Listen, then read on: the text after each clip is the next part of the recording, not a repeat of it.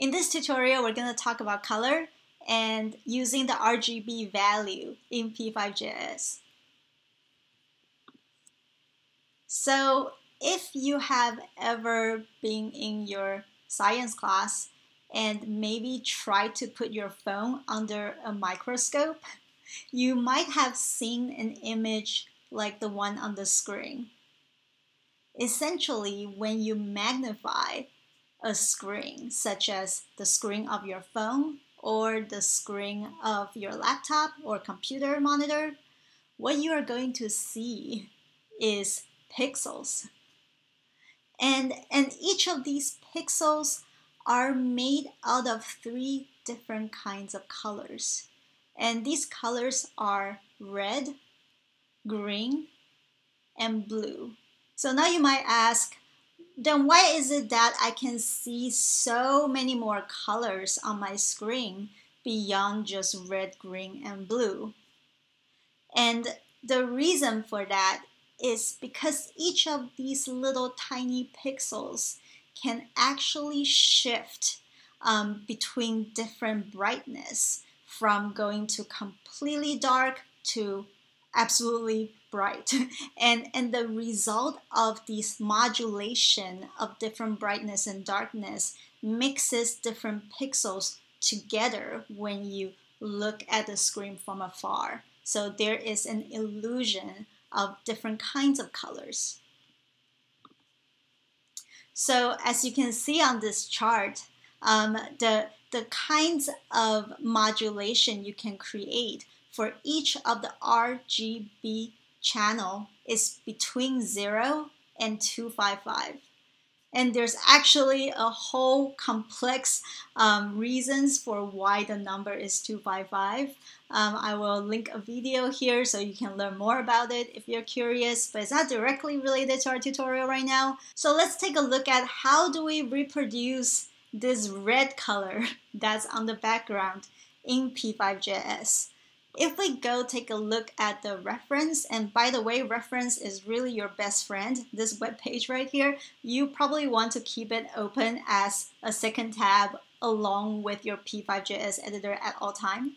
So I'm going to take a look at the background feature. So as you can see, the background doesn't only take one value, it also takes three value. And these three value each represent R, G, and B. So if I want um, a screen that is completely red without any green and any blue value, um, what I would have to do is giving the first value, that R value, a maximum of 255. So if I type 255, comma 0, comma 0 here, and if I hit play, there you go. That's that's our red screen over there. So if I want to change my background to a green color, I have to type 0, 255, 0. And the same goes to my blue background, right? I'll have to shift this to 0, 0, 255. So the ability to essentially, you know, have three channel of RGB colors and 255 numbers. Um, essentially, it's actually 256 because there's also the number zero uh, to play with. Actually, um, turns out to provide us around, I think it's um, 16.7 millions of color choices. So, so that's pretty incredible when you think about it. However, how can one possibly know, you know, like if I want that tone of like nice blue violet color, how, how can I possibly know what combination of number is that? So this is where um, online tools that different kinds of people have made um, coming really handy. Here is just one of the example for a tool that you can use by W3 School. Um, it's called the HTML color picker. So this is where you can, you know, go over to the site and sort of pick a color that's like within the range of the kind of color you're looking for. And here, as you can, you can choose like a different darkness, a different shade. And you can see, aha, this is the RGB value here that I need to copy over, right? So, so no one is expecting you to remember or know exactly what number combination it's going to be. That is something that you essentially just look up and find. So I just showed you how to change the background color. Um, but actually, I want to also be able to change the color of my shapes. So here I'm going to draw a ellipse real quick. And um, and I can type, I'm going to draw a big circle and it's going to be in the center of my canvas. Um, I can write 200 to, to bring that to the center, but I'm actually today going to teach you a new way um, to, to place a circle into the center of the canvas. And that new way is using something called width. So you can type width divided by 2. And you can type height divided by 2. So, so what is this width and height? Um, what, what width means here um, when you type it into the ellipse? It's saying that take the value of my canvas width, right? So here's my canvas width and height. Take the value of my, uh, the, the width of my canvas, which is 400 right now, and divided it by 2. So the result of this is going to be 200. And the same idea applies to height. Take the height of my canvas and divided it by 2. so, so it's going to always be in the center, this ellipse, no matter what the size of your canvas would be. The next thing I'm going to do is giving it a width and a height. So here I'm going to type 300, 300, and I'm going to hit play, and there you go, a big nice circle uh, in the center of my screen. By default in P5, all shapes would have a white fill. So, so this is something we have to change, right? Um, so if you go over to the reference again, the feature you want to find is something called fill. So if you go to fill, you'll see that, oh, fill is basically sharing the same kind of syntax as my background. Um, it would take an RGB value in there. So here I'm actually going to type in fill and I'm actually going to make it um, 0, 255, 255. And I'm going to hit play. So, so essentially, um, RGB, the mix of green and blue is going to give us this beautiful cyan color. Okay, and notice that if you remember from the last tutorial uh, when I talk about drawing order, it's very important that you put the fill, the color um, set up for your ellipse and for your shapes before the drawing of the shape. So, so just make sure that color setting always go before shape. Another cool thing I wanted to talk about um, relating to RGB is that there is actually a fourth value here that is optional to type in. Um, but if you type it in, you're going to be able to control the alpha channel. And alpha channel essentially just is a fancy way to say transparency. So let's say, and it's also um, on the on a sliding scale of zero to 255. So let's say if I over here put let's say 120 as my fourth alpha channel value, I'm going to see a slightly transparent circle because and you know now now the now the alpha channel value has been shifted to about half. Um, okay, I'm gonna bring this back. And the next thing I want to talk about is stroke. You can see that there is a black stroke around my circle. Um, it might be desired, but oftentimes it's not. So if you don't want any stroke inside of your sketch, you would, in your setup, write no stroke. I'm going to hit play and you can see that the stroke has disappeared. Um, Okay, let's actually create a couple more shapes to make this drawing a little more complex.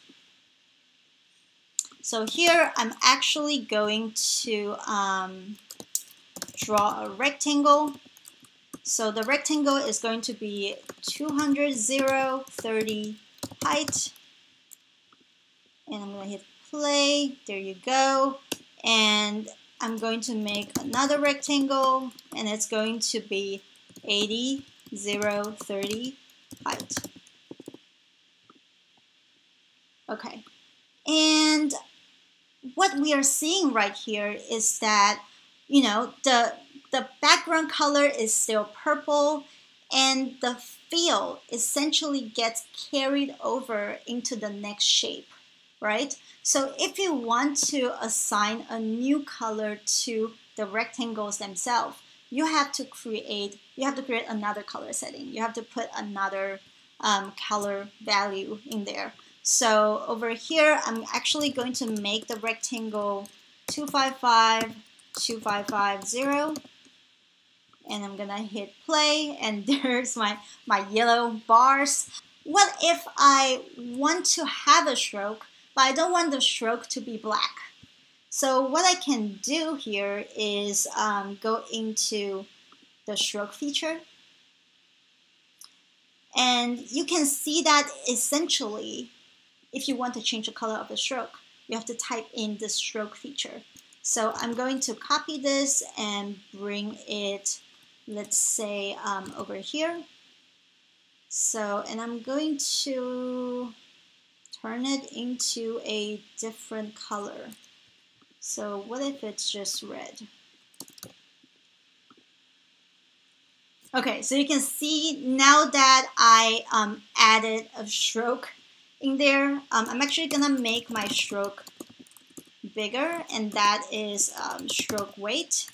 So if I make my stroke bigger and when I type 5, it means 5 pixel. Um, this is in pixel value. It's going to you know, like enlarge the, the size of my stroke all around.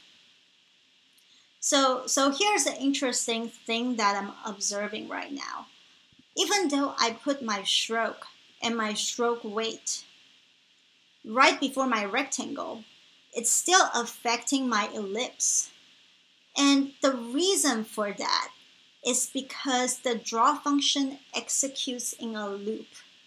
So essentially what is happening is that the draw function starts drawing a background and it draws the ellipse and it draws a, it assigns a stroke and a stroke weight to the rectangle and then it go return to line 7 and continue to execute. So because it's drawn in a loop, your stroke is going to get carried over um, to your ellipse um, because the, the looping motion is really fast. So that very initial frame, that very initial execution, um, when when the ellipse doesn't have a stroke, you have already missed when you when you play it.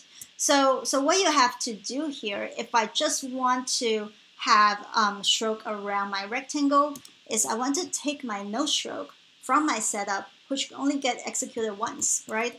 And I want to put it right before my ellipse. So if I hit play here, you can see that now whenever it loops, it knows to assign no stroke and, and fill of cyan color to the ellipse and to assign the red stroke and the yellow fill to the rectangle. I hope that explains generally how creating colored fill and colored strokes work in P5.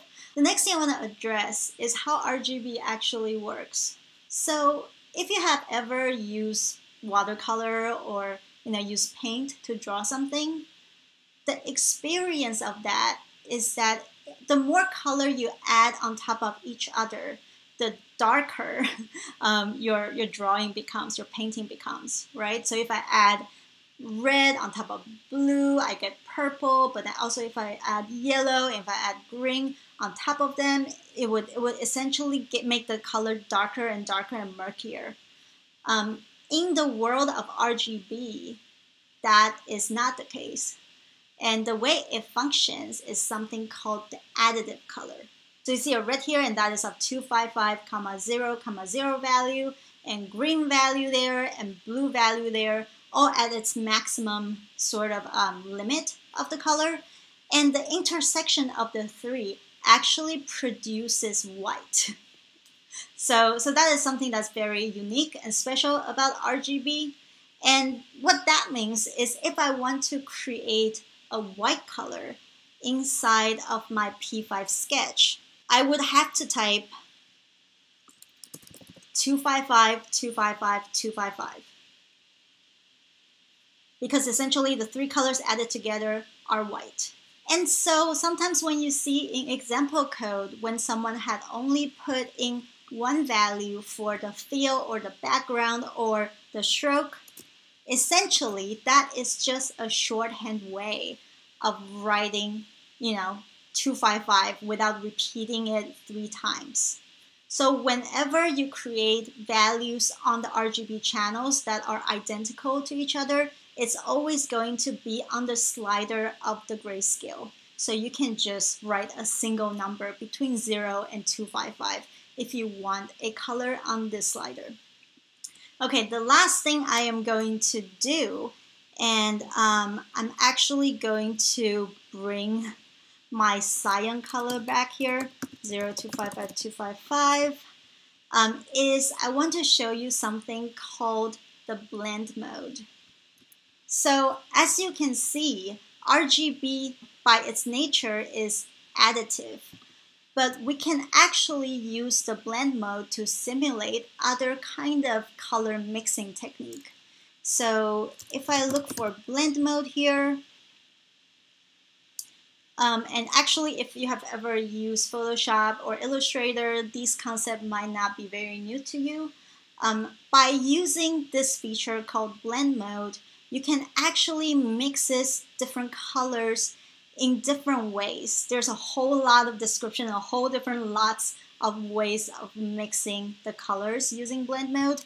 So I'm actually just going to try one of them. So I'm going to take this and I am going to put my blend mode in my setup and I'm going to click play and you can see that this blend mode essentially find the lightest value of each color and mix them in a particular way. If you want to create a different effect, um, such as, let's say I'm going to use the darkest, which only lets the darkest color succeed. It is going to create a very different kinds of mixing outcome. So this is a fun way to mix more color and create unexpected color palette by using blend mode in your P5.